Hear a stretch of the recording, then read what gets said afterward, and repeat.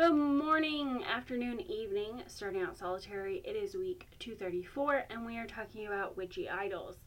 Um, so, I'm going to repeat something that most of the other people have said this week, and it's that I don't really have witchy idols.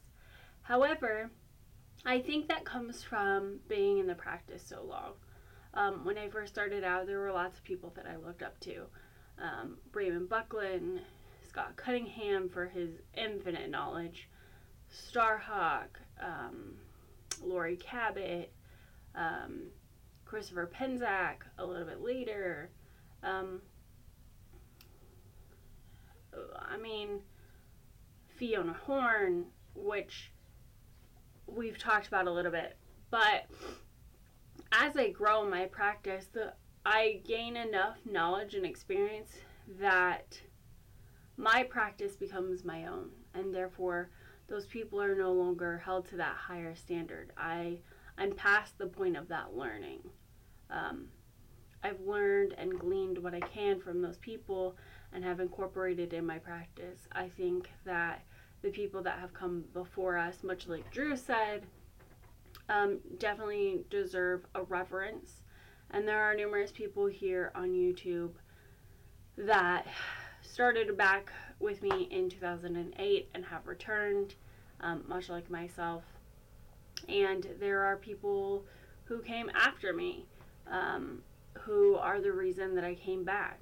Um, some of those people are Molly Roberts and Kelly-Ann Maddox and um, Avalon and Sam and Piper and Alora Rain. I mean, it, the community has gotten so big now that I think it's important as people who have been in the community the longest, not not necessarily the longest, as people who have been in the community a long time, I think it's important for us to represent ourselves and be open to helping others.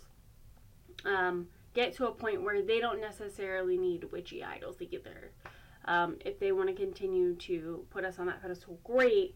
But I think it's important with so much mainstream attention going on to witchcraft and what is witchcraft and BuzzFeed and all these documentaries and all these things. I think it's important for us to be a wealth of knowledge that we experienced in a new format and help explore that for the newer generations. Um, and I don't think anybody sets out to be an idol or somebody's role model, but I think that's just the progression of the cycle. So that's really all I have to say on that topic, and I will see you guys next week here on Starting Out Solitary.